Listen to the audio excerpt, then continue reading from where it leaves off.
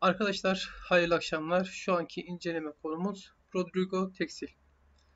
Rodrigo'yu arkadaşlar şunu söylemem lazım. E, Hani bunu çok örneğini veriyorum. Bazı takipçiler bunu çok duyuyorlardır ama ama söylemeye devam edeceğim arkadaşlar. Niye? Çünkü e, bu tarz hisselerde biraz sıkıntı doğurabiliyor. Şöyle arkadaşlar e, örnek verecek olursam. Hisse bakın e, 2020 Mart 2021 Şubat. Hani bir yıl olmamış 11 ay. 11 ayda hisseyi ne yapmışlar? 11 aydan bahsediyorum. Yaklaşık olarak 29-30 kat arkadaşlar. Neredeyse 30 kat. 30 kat diyelim. 11 ayda hisseyi 30 katına yükseltmişler. Şimdi bu 11 aylık süre zarfında hissede 30 kat yükselecek şirket faaliyetleriyle ilgili ne oldu? Cevap hiçbir şey. Yani 30 kat yükseltecek kadar bir şey olmamıştır. Hiç zannetmiyorum. Hiçbir şirket de olmaz zaten bu. Yani bu ne demek arkadaşlar? Bu şu demek. Yani bu şekilde yükseltilen hisselerde biraz sıkıntı arkadaşlar. Aşağı getirebilirler. Aşağıda çok getirirler. Bakın buradaki dalgalanma hareketini, buradaki dalgalanma hareketi arkadaşlar burada toplanan malların satılma hareketidir ya. Başka bir şey değil yani. Bu burada toplanan malların satılma hareketidir. Başka bir hareket değil bu. Değil. Bir önceki video analizimde de aynı şey geçerliydi. Aynı şeyleri söyledim. Daha öncekinde de aynı şeyleri söyledim ama siz aynı hisseleri soruyorsunuz. Yani bir şey diyemem saygı duyuyorum ama e, şey var arkadaşlar. Bu hareketler e, şey değil. Yani iyi bir şey değil. Yani burada alıcılar bu e, mal alıyorlarsa burada toplanan aşağılarda toplanan malların satılmasıdır arkadaşlar. Bir yılda kaç dedim ben 28-30 mu demiştim ya? 11 ayda hatta 11 ay. Bir yılda demeyeceğim ya. 30 kat evet.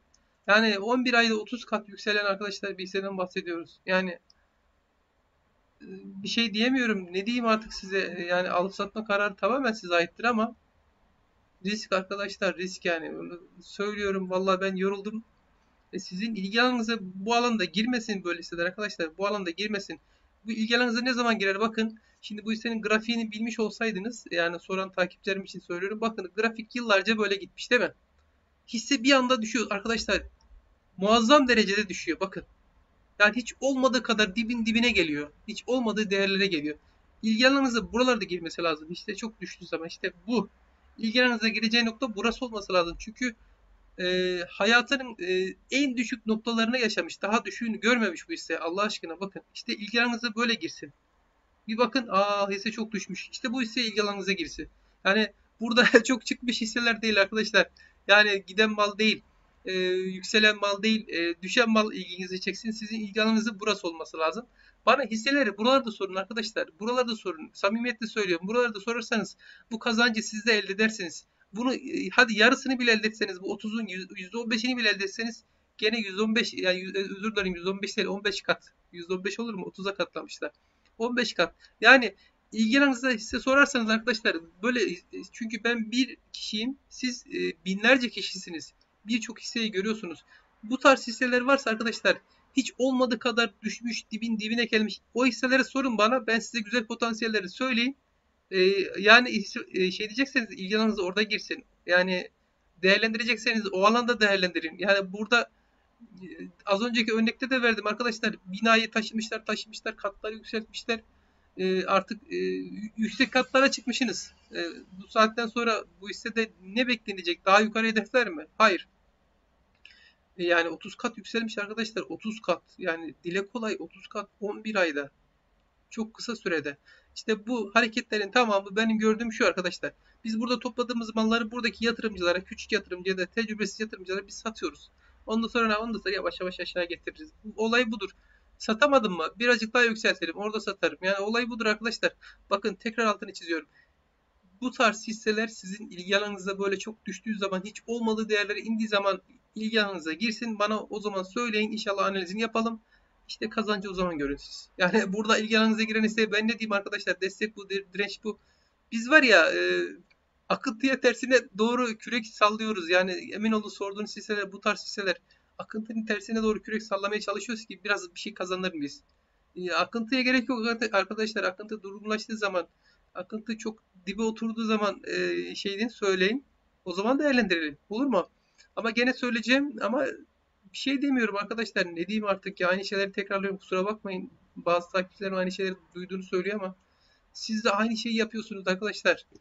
İlgi alanınıza burada değil, burada girmesi lazım. Burada sorun bir daha bana olur. Hem hep beraber faydalarınızı istifade ederiz arkadaşlar. Potansiyeli söylerim. Sen ne potansiyel olduğunu bilirsin. Ee, ona göre davranırsın yani. 30 katı boş verirsin sen de 8 kat alırsın 10 kat alırsın. Yani onlar da güzel rakamlar arkadaşlar. İyi fırsatlar, iyi paralar. Az paralar değil.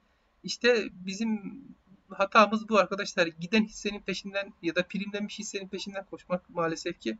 Herkesi tenzih ediyorum ama e, sıkıntı da bir şey diyemiyorum. Bakın arkadaşlar buradaki desteği de kırdırmışlar. Görüyorsunuz ki aşağı doğru getiriyorlar. Aşağı doğru geliyor hisse aşağı. Aşağıda niye var?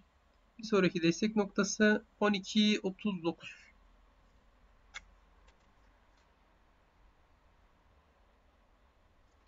%12.39'un kırılması halinde 10.40'ı var. 10.45'i var. 10.45'te kırılırsa daha aşağı neresi var? Onları da vereyim arkadaşlar ben. 8 var. Arkadaşlar biliyorum hani e, çoğu insan hani olumsuz bir şey duymasını sevmez. Olumsuz bir şey söyleninde e, pek hoşlanmaz ama ben sizin dostunuzun düşmanınız değilim. Yani kötüyü de söylemek zorundayım. İyiyi de söylemek zorundayım. Yanlış anlamayın beni. Ben sizin iyiliğiniz için söylüyorum arkadaşlar. Yani para sizin paranızdır. Risk sizin riskinizdir. Ben asla yatırım tavsiyesi zaten vermiyorum. Sadece kişisel görüşlerimi burada paylaşıyorum. Asla yatırım tavsiyesi değildir ama dediğim gibi ilgi alanınıza burada değil de burada girerse e, kazancı siz o zaman görün. Yukarıda ne var? Birazcık daha şöyle büyüteyim arkadaşlar. Az yukarıda bir direnci var. Hemen yukarısı %4'lük yukarısında. 15.54. Oranın kırılması halinde. Burada tepki alımları gelecek bu hissede. Yani böyle tepki alımları yapa, desteklerinde tepki alım yapa yapa %8, %10, %20 bunu yapar. Bunu yapabilir arkadaşlar. 18-20. Oranın da kırılması halinde yaparsa eğer 22'ler. Bu ise bunu yapacak arkadaşlar. Bakın şu aralıkta falan tepki alımları yapacak ama bu tepki alımları dediğiniz olay işte aslında bir anlamda mal çıkmadır arkadaşlar ya. Mal çıkma hareketleridir.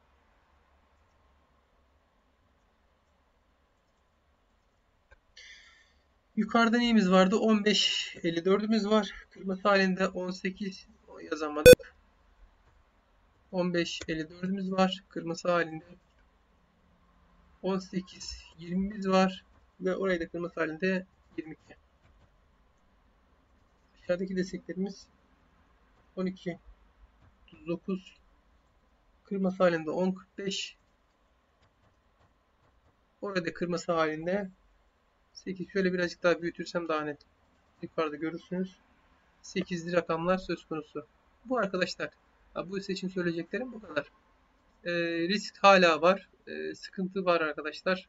Tercih size aittir. Ben gördüğümü paylaşmak zorundayım. Hissenin en zirve noktalarının tepe noktaları buralar. Yani burada aslında şu harekette dalgalanmalar yapıyor Yukarıda ben hedeflerini verdim arkadaşlar. Giderse o tepki alımı yaparsa o hareketleri yapabilirler.